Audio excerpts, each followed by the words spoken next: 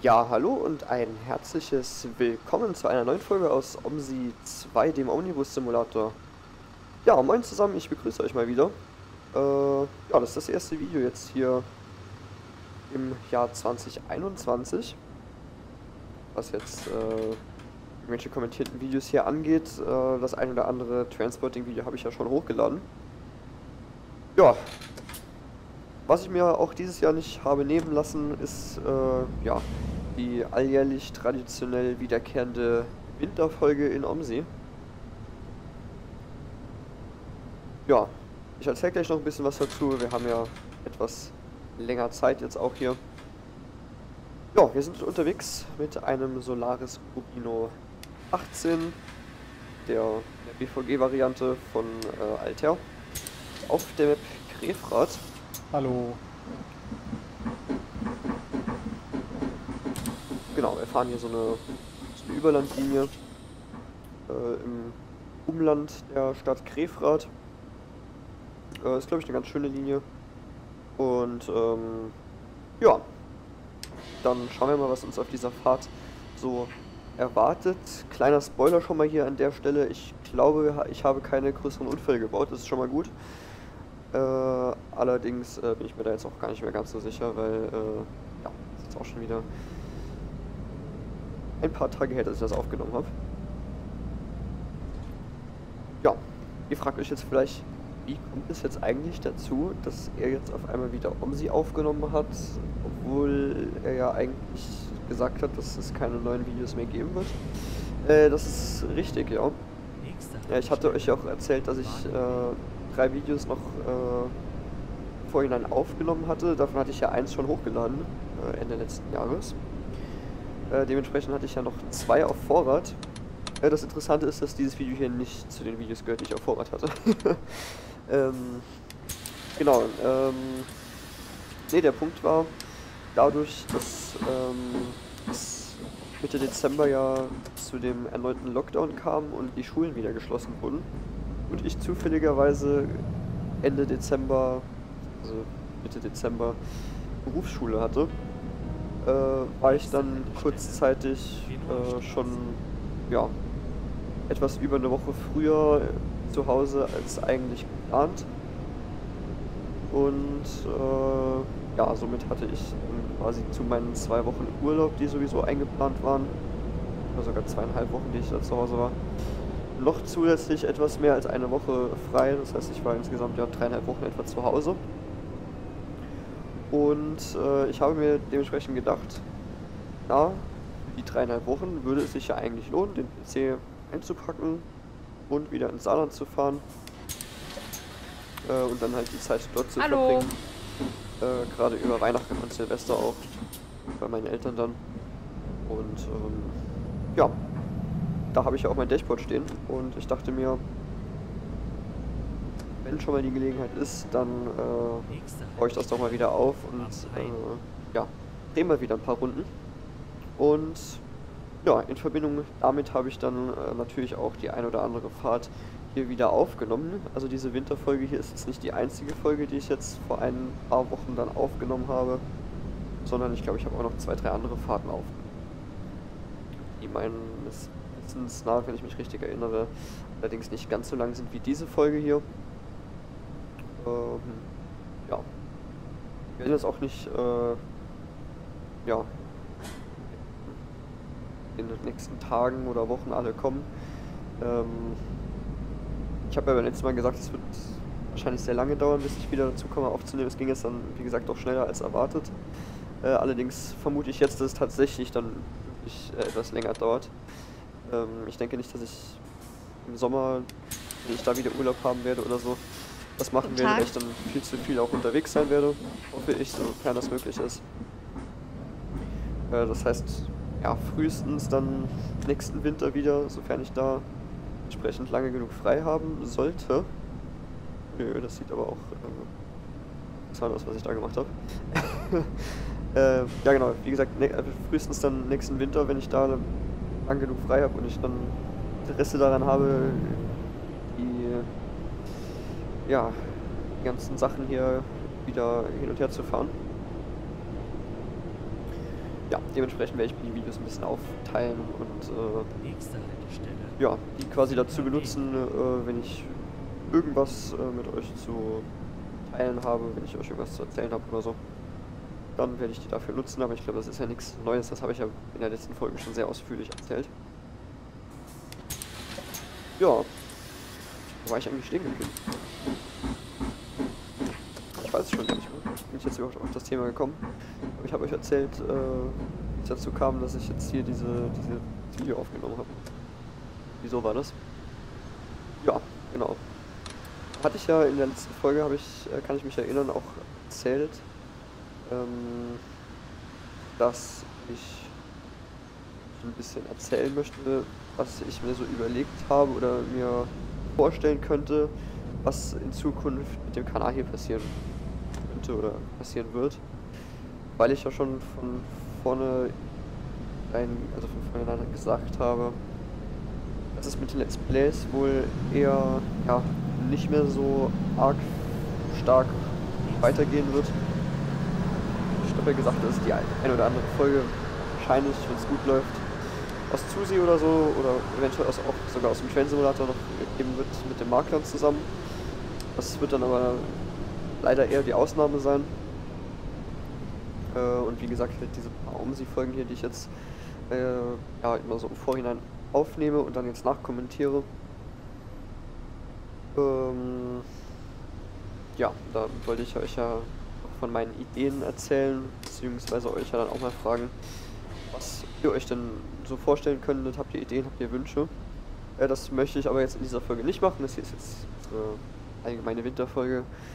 Und genau, ich werde dann in einem separaten Video, welches sich dann nur mit dem Thema Zukunft dieses Kanals befasst, ähm, hochladen, aufnehmen. Genau. Dass ihr euch irgendwie wundert oder denkt, dass ich das vergessen hätte oder so. Ja, das hier sind auch wieder sehr schöne Texturen auf der Fahrbahn, die ich sehe. Ich glaube, das soll nicht so. Bin mir da aber nicht so sicher.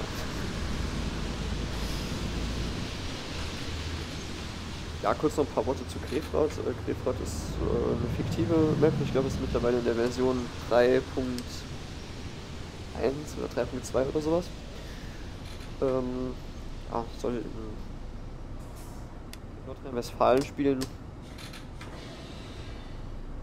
Man merkt auch, dass es hin und wieder ein bisschen äh, auf die Gegend angelegt, äh, ja, doch, so, man, man, merkt immer wieder auch an den, an den Namen der Orte oder der Städte, dass es daran angelehnt ist. Es gibt hier zum Beispiel, glaube irgendwie Bahnhof Wedau oder so. Das gibt es ja dann im Original zum Beispiel in Duisburg auch. ist eigentlich eine ganz schöne Map. Ist auch schon, ja, etwas älter, aber es gibt ja entsprechend auch nicht mehr wirklich viel Neues in OMSI 2. Was ich auch irgendwo verstehen kann, weil klar, es ist ein schöner Simulator, aber er ist einfach mittlerweile in die Jahre gekommen und es gibt so viele schöne Sachen mittlerweile in OMSI, dass es wirklich mittlerweile auch schwer wird, sich da irgendwie ja, zu verbessern. Simulator hat halt auch einfach, was die Ausgestaltung von den Maps und so angeht, mittlerweile einfach die Grenzen des Machbaren oder des Umsetzbaren erreicht. Also ich glaube, wir haben doch die eine oder andere Map, wo man jetzt sagen muss, okay, geht halt einfach nicht.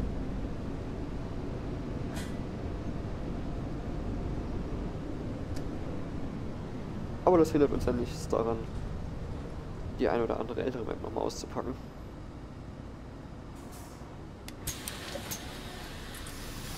Guten Tag.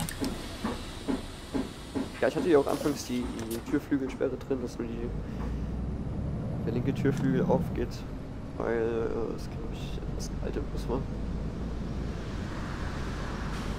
Ich bin gar nicht sicher, ob ich das irgendwann umgestellt hat, äh, umgestellt hatte. Werden wir gleich sehen. Ich entdecke die Folge jetzt quasi mit euch zusammen. genau.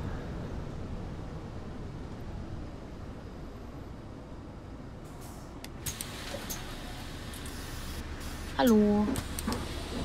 Ja, ansonsten hoffe ich, dass ihr trotz allen Umständen schöne Weihnachten hattet, ins neue Jahr gestartet seid. Und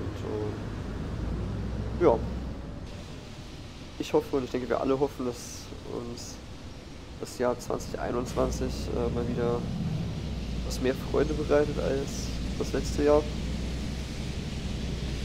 Ja, abwarten, was so wird.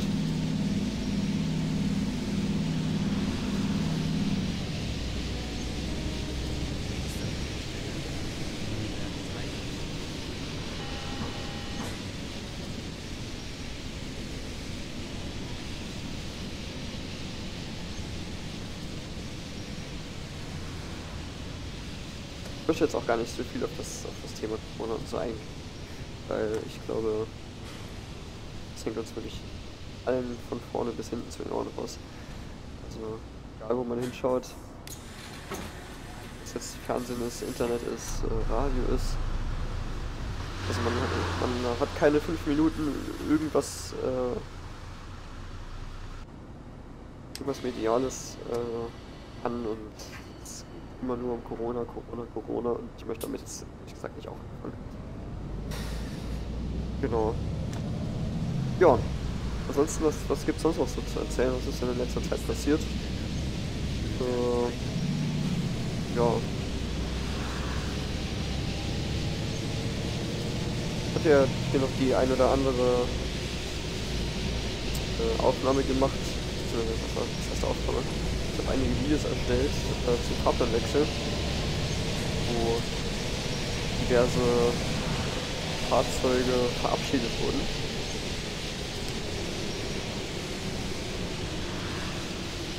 Ja. Ich muss sagen, ich bin für die ein oder anderen äh, Geschichten ja, ja tatsächlich auch gerade jetzt Ende November, Anfang Dezember noch viel unterwegs gewesen. Ich muss natürlich sagen, das, äh, kann man jetzt so oder so sehen, ob das jetzt äh, vertretbar war. Ich für meinen Teil muss sagen, ich bin mir durchaus bewusst, dass es vielleicht nicht so ganz verantwortungsbewusst war in dieser Corona-Zeit, wo es ja teilweise dann auch schon wieder Ausgangssperren und so weiter gab, so viel unterwegs zu sein. Äh, allerdings muss ich auch dazu sagen, äh, dass ich Anfang des Jahres, also als der erste Lockdown war, ich, äh, wirklich lange Zeit sehr, sehr strikt daran gehalten habe. Also ich war wirklich äh, wochenlang äh, eigentlich nur zu Hause. Höchstens mal irgendwie mit ihm zum Einkaufen oder mal spazieren gewesen oder auf Fahrrad fahren oder so. Aber da war ich halt wirklich gar nicht unterwegs. Und ähm, ja, das ist mir mehr oder weniger auch schwer gefallen in der Zeit. Und ich habe mir jetzt einfach gesagt, ich habe schon gewisser, äh, gewissermaßen einen guten Teil dazu beigetragen, würde ich sagen, Anfang des Jahres, also Anfang letzten Jahres mittlerweile. Und ähm, habe ich mir gedacht, ich erlaube es mir mal, auch mal ein bisschen meinen Spaß in Anführungszeichen zu haben. Hat ja mittlerweile auch mit da äh, unter anderem auch damit zu tun, dass ich ja jetzt eben alleine wohne in Karlsruhe. Und ich sag mal so, wenn ich jetzt äh, wirklich sage, okay, ich halte mich an alles und bleib wirklich zu Hause und gehe nur irgendwie zum Arbeiten und zum Einkaufen aus dem Haus, ja, was mache ich denn dann? Ich meine, ich habe jetzt hier in der Stadt eine kleine Wohnung, 20 Quadratmeter etwa. Und ja, ich kenne auch den einen oder anderen hier in Karlsruhe und Umgebung, aber wie gesagt, man sollte sich ja dann auch wiederum treffen und so. Äh, ja, da steht man dann natürlich schon vor der Frage, ja, was macht man denn den ganzen Tag? Und äh, ja, gar keinen Kontakt mit irgendwelchen Freunden oder Familie oder anderen Menschen zu haben, ist halt auch nicht so Lösung, würde ich behaupten. von daher habe ich es mir dann in dem Fall einfach mal nicht nehmen lassen und war mal noch ein bisschen unterwegs und habe noch ein paar Aufnahmen gemacht. Ich muss dazu sagen, ich bin, also auch wenn ich unterwegs bin, gehe ich trotzdem einigermaßen verantwortungsbewusst mit der ganzen Sache um. Also ich bin niemand, der jetzt äh, denkt im ICE, ach, äh, ich bestelle mir jetzt einen Kaffee oder irgendwas und setze mich dann eine Stunde lang dahin und trinke äh, Tropfen für Tropfen meinen Kaffee, nur damit ich meine Maske nicht tragen muss oder äh, ja, solche Dinge halt. Also da, da gehe ich schon verantwortungsbewusst mit der Sache um und trage meine Maske möglichst oft, außer wenn ich halt gerade halt wirklich was trinken bin oder was essen möchte oder so.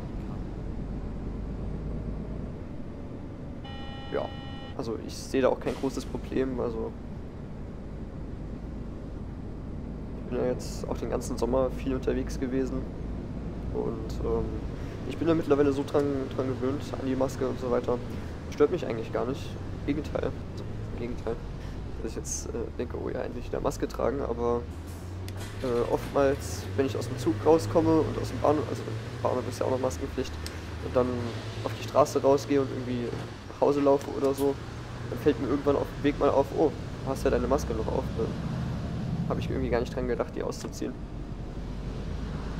Also dementsprechend, das stört mich in dem Sinne eigentlich überhaupt nicht. Also ich, klar wäre ich froh, wenn ich, also oder ich allgemein froh, wenn die Maskenpflicht halt irgendwann wieder abgeschafft wird.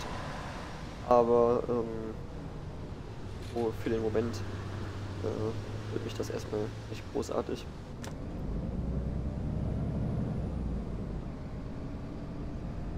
Daher kann ich das auch, um ehrlich zu sein, absolut nicht nachvollziehen, äh, warum sich so viele Menschen da irgendwie so großartig äh, in ihrer Freiheit oder so eingeschränkt fühlen oder so. Hallo. Weiß ich jetzt nicht. Also, wo ich mich in der Freiheit eingeschränkt fühle, ist, wenn ich halt wirklich nicht mehr aus dem Haus gehen darf. Ich meine, ich wohne jetzt in Baden-Württemberg, hier ist ja aktuell auch Ausgangssperre von ich 20 bis 5 Uhr. Und äh, ja, es soll ja jetzt diese oder ist ja jetzt auch äh, gerade aktuell, dass man in bestimmten Gebieten auch seinen Wohnort äh, nicht mehr verlassen darf, beziehungsweise maximal 15 Kilometer entfernen darf. Also das sind so Sachen, wo ich mich dann persönlich äh, irgendwie eingeschränkt fühle. Weil ich halt jemand bin, der gerne viel unterwegs ist. Also es gibt für mich nichts Schlimmeres, als den ganzen Tag zu Hause zu sitzen eigentlich. Also klar, ich meine, ihr seht es ja in meinem Kanal, ich, da fahre ich auch gerne mal eine Runde um sie oder zu sie oder mache irgendwas anderes am PC. Ich schneide hier irgendwelche Videos oder ne, ihr wisst, was ich meine. Aber das ist bei mir nichts, was ich den ganzen Tag machen kann. Also das mache ich mal gerne ein paar Stunden. Aber dann muss ich auch irgendwie mal raus. Also sagen, fehlt mir also schon.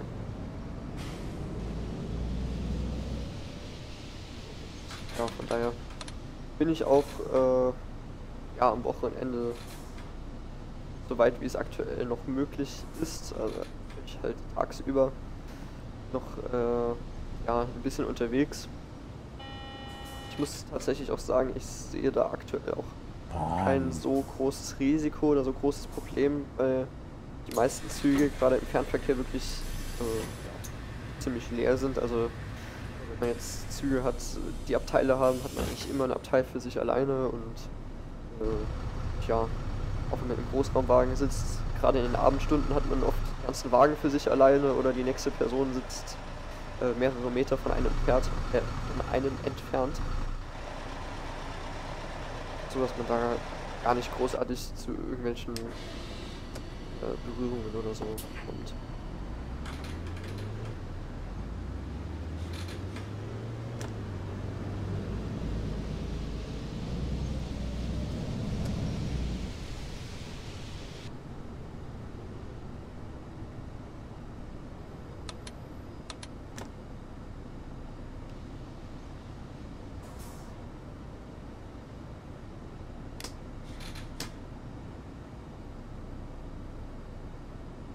Ja, die Karre ist auch gut dreckig. Hätte ich mal waschen können vorher.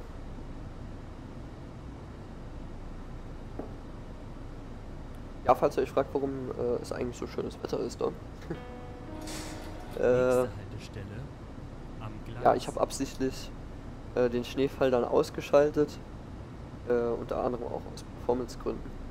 Weil ja, jeder erfahrene OMSI-Spieler weiß, sobald es in OMSI regnet oder schneit, äh, ja, gehen die FPS-Zahlen drastisch nach unten.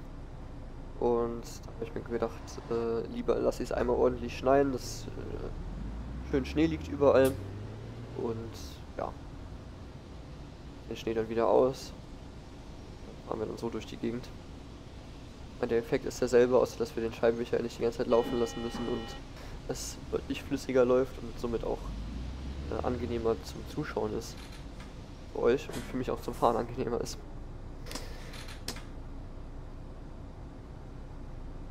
Das kommt dann natürlich auch noch dazu. Ja. Dazu. Äh, ja, nee, das zu dem Wetter. Genau. ja, ansonsten, was, äh, was kann ich euch noch erzählen? Ja.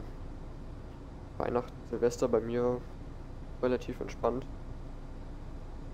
Eigentlich nur mit der Familie. Äh, ja, bisschen ja, gefeiert kann man es jetzt halt eigentlich nicht nennen. Eher so zum Essen, zum Kaffee halt eben äh, getroffen und das war es auch, was wir noch sonst großartig machen. Ja, ansonsten bin jetzt auch wieder am Arbeiten seit äh, Anfang Januar. Beziehungsweise seit habe ich wieder angefangen. Am 7. Nee, am 8. Januar habe ich wieder angefangen. Und äh, ja. Werde jetzt dann auch zwei Wochen wieder bei einem Seminar sein, diesmal in Frankfurt. Und äh, ja, ich muss mal schauen, wie ich das jetzt zeitlich so mache, schaffe. Weil ich jetzt diese Woche hier auch dreimal nach Basel runterfahren mit einem Flug von uns. Und dann ist ja auch schon Wochenende. Ich weiß noch nicht genau, was ich am Wochenende mache. Und äh, ja, ab Montag dann. Also ich vermute mal, das Video hier wird dann jetzt am 12. eventuell morgen schon kommen. Also am 13.01. Äh, also seid ihr top aktuell. Wenn das Video kommt, bin ich wahrscheinlich gerade in Basel oder so. Ähm, genau ja, da muss ich mal schauen, ob ich dann für die zwei Wochen irgendwie dazu komme, noch ein paar Videos quasi zu produzieren und dann äh, schon im Vorhinein hochzuladen.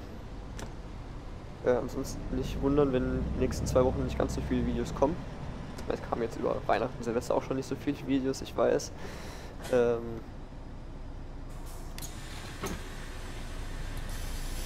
aber das möchte ich eigentlich auf lange Zeit gesehen wieder ändern.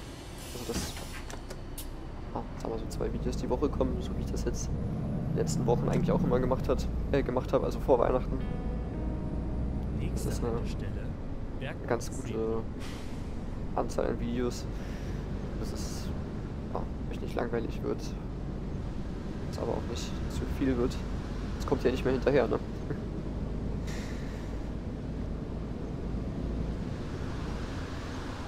Ja, da muss ich mal schauen. Vielleicht in drei, vier Wochen oder so, dass ich dann tatsächlich mal das Video aufnehme, wo äh, ich dann mal überlege oder mit euch zusammen überlege und Ideen sammle, was auf meinem Kanal so in Zukunft äh, passieren wird.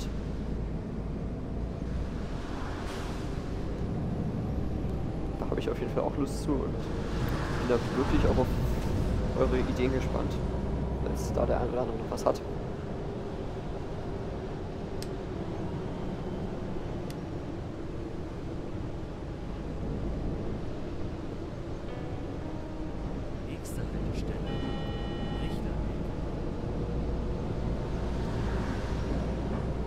Weiß gar nicht ganz genau, wie lange die Fahrt hier überhaupt noch geht. Wir sind jetzt bei oh, 25 Minuten ungefähr. Ja. Dürfte eigentlich auch schon gleich vorbei sein.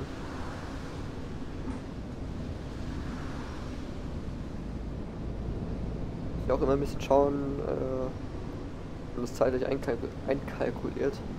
Äh, wenn jetzt das hier vorletzte Haltestelle so gefühlt ist äh, und ich jetzt noch ein riesen Fass aufmache, ja dann äh, haben wir gleich ein kleines Problem. Beziehungsweise ich habe dann gleich ein kleines Problem, weil das Video endet ja dann natürlich, natürlich einfach. Hallo. Und äh, ich bin am Erzählen, das wäre natürlich etwas unpraktisch. Deswegen würde ich fast vorschlagen, dass wir das jetzt ganz, äh, genau, äh, mein Apple-Abo ist auch abgelaufen die Woche hier, da muss ich, das muss ich mal wieder neu beantragen. Äh, ja. Deswegen muss ich natürlich äh, schauen, genau, und ich würde sagen, wir lassen das Ganze jetzt so ein bisschen langsam ausklingen.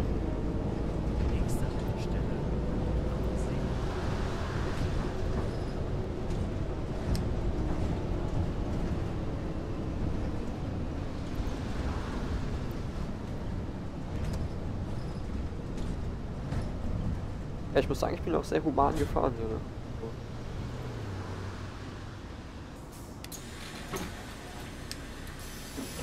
Da hat ja selbst unser ABS, ASR extrem wenig zu tun.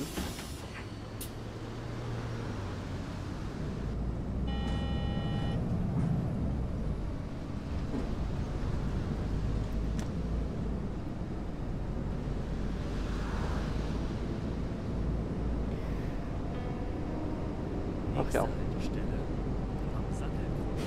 Ja, jetzt weiß ich ungefähr, wo wir sind. Dann ist es tatsächlich gleich vorbei.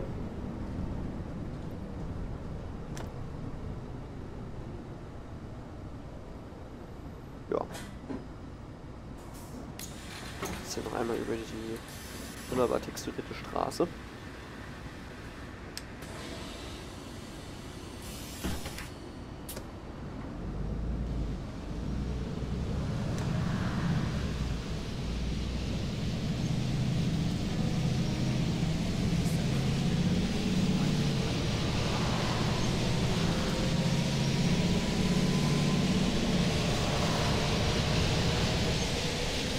Unbedingt äh, gehen wir noch mal ein Stück trinken.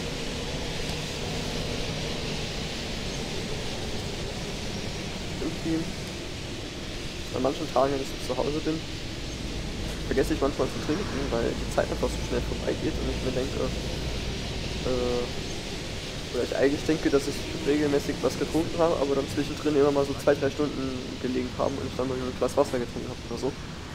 Wie geht mir das heute auch wieder so?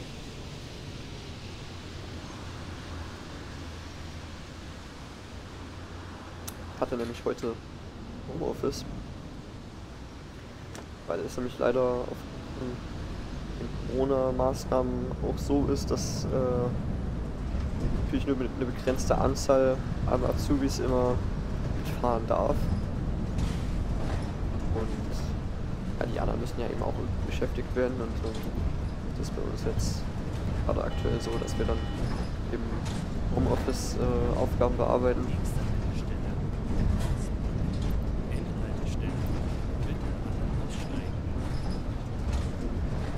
Entsprechend war das bei mir heute der Fall.